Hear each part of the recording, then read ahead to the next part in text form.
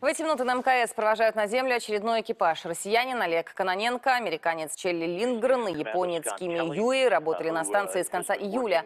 Они как раз сейчас переходят в спускаемую капсулу «Союза». С минуты на минуту должны приступить к задраиванию люков. Отстыковка намечена на 12.49 по Москве. После корабль будет несколько часов находиться в свободном полете. В это время Олег Каноненко протестирует новый планшетный компьютер, который в будущем планируется вмонтировать в пульт управления «Союзом».